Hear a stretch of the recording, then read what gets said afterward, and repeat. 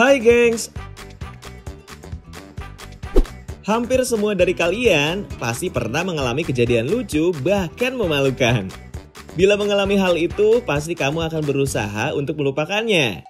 Namun sayangnya, beberapa harus mengalami rasa malu yang berkepanjangan karena mereka tertangkap oleh kamera hingga viral di sosial media. Langsung aja yuk kita bahas kejadian memalukan yang dialami oleh orang-orang kurang beruntung ini karena terekam kamera.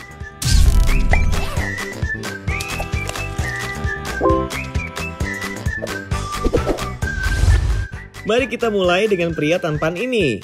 Mungkin dia nggak tahu kali ya kepintaran dan track record dari seorang penjaga perhiasan. Dengan trik yang sudah biasa, dia nekat membawa kabur emas yang pura-pura dia coba. Tapi jangan salah gengs, penjaga perhiasan ini jauh lebih pintar daripada si pencuri berambut jamet ini. Perasaan awkward bercampur malu pasti dirasakan setelah ia gagal membuka pintu. Lain kali kalau mau mencuri jangan modal gaya aja ya bro.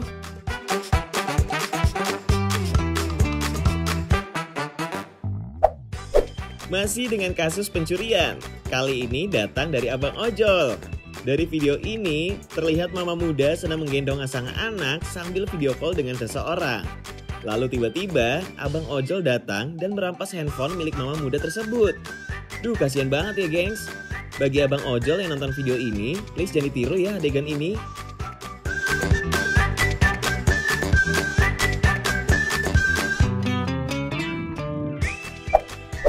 Bagi kebanyakan orang, mungkin menjadi reporter adalah pekerjaan yang mengasyikan.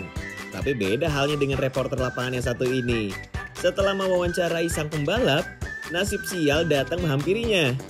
Duh, kasihan banget ya. Udah cantik-cantik malah terkena lumpur.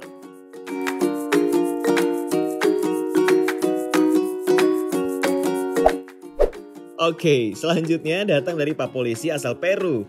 Bukannya melaksanakan tugas, polisi ini malah tergoda dengan perempuan yang seharusnya dia tilang. Perempuan berbaju seksi ini ditilang karena tidak melaksanakan protokol kesehatan COVID-19. Saat Pak Polisi ini mencatatkan surat denda, alih-alih membayar denda, eh si Jablay ini malah memberikan rayuan kepada sang polisi. Awalnya sang polisi menolak sih, namun karena imannya udah gak kuat, tiba-tiba polisinya udah nyosor. Video ini sempat viral di media sosial. Kabarnya sang polisi diskors hingga waktu yang tadi tentukan. Uh, ada-ada aja tingkah lagu Pak Polisi itu. Menurut kalian gimana gengs? Setuju nggak polisi itu diskors? Kalau aku sih langsung pecat aja Pak Polisi itu. Komen di bawah ya.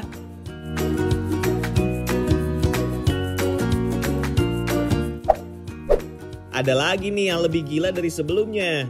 Seorang penyanyi yang lagi asik-asiknya bernyanyi sambil ngedance tiba-tiba celana dalamnya melorot. Aduh, malu-maluin banget ya. Untung dia nggak pakai celana dalam yang tujuh hari belum dicuci. Baunya pasti sampai ke penonton paling belakang tuh.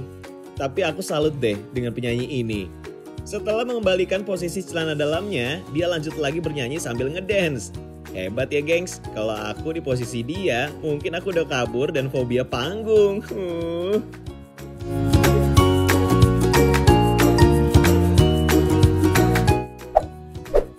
Kamu tahu nggak kalau di Rusia ada festival yang namanya mandi beku? Nah, pada festival ini ada kejadian yang nggak terduga nih gengs. Terlihat ada seorang wanita berbaju putih yang mengikuti festival ini, tapi setelah menceburkan dirinya ke kolam, tiba-tiba hal tak terduga terjadi. Hmm, gimana? Kalian jangan gagal fokus ya.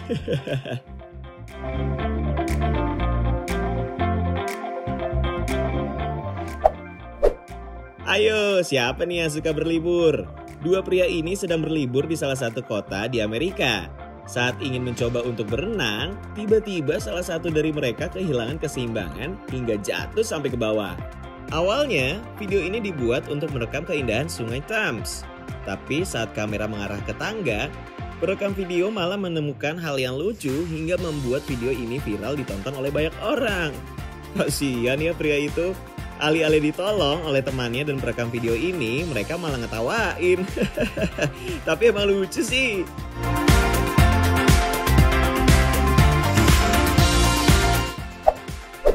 Terakhir datang dari striker Villa yang bernama Helenius.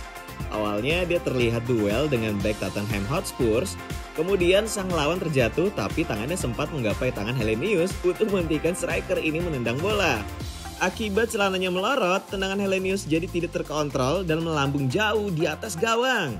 Rugi di Helenius di gengs, udah celananya melorot, eh tendangannya nggak masuk pula. Kalau kata anak zaman sekarang, double kill. Itu dia kejadian memalukan yang terekam kamera. Dari beberapa kejadian ini, ada yang pernah kamu alamin juga nggak gengs?